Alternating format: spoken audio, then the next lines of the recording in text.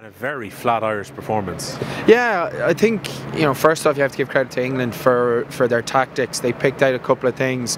They really ramped up the line speed. You know, it was like it was like a basketball match, and they went full court press for the whole game. They pushed so hard up the field that you know it didn't give Ireland an opportunity to to really go after that space on the edge, which they tried to take. And pass accuracy killed them on the edge at times.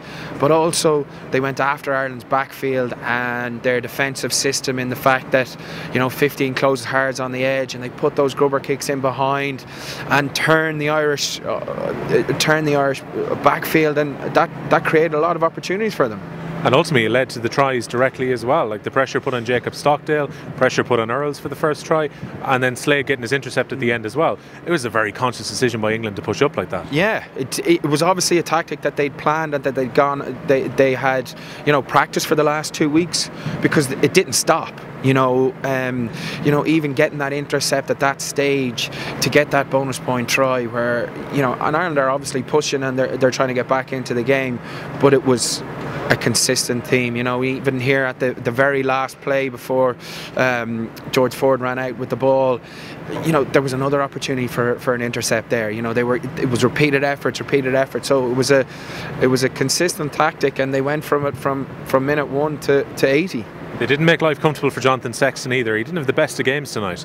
No, they, they went after him early, I think, in terms of, um, you know, anytime he was on the ball and, you know, if there was any doubt, you know, he he, he, he, got a hit, um, you know, which is perfectly legal. There was, nothing, there was nothing untoward really done to him, but they, I think the, the line speed just, just you know, and he was possibly he hasn't played a whole lot of rugby since New Zealand, so maybe you know that that tactic of the line speed and getting after them you know, that was, you know, that kind of just cut off his options.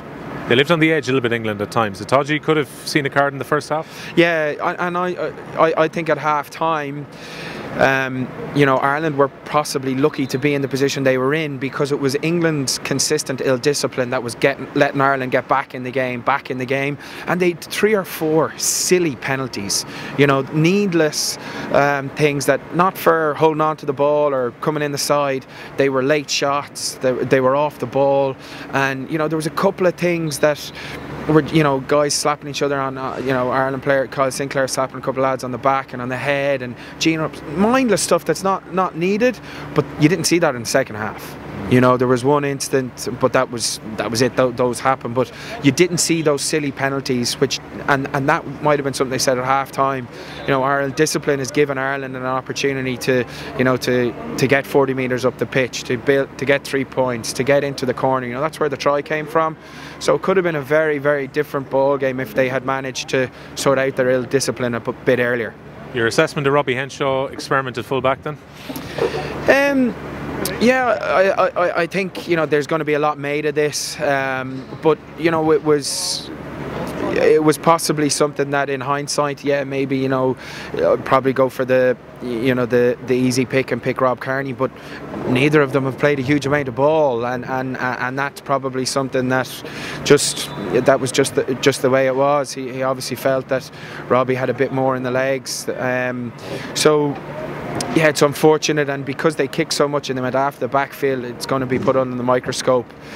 Um, well, it obviously didn't work based on the result. Um, but I don't think it's it was down to individual errors. I think it was just uh, good tactics and uh, and and good thought process from England. You know, obviously Scotland, and then last year it took the last gasp from Johnny to actually dig a result in France.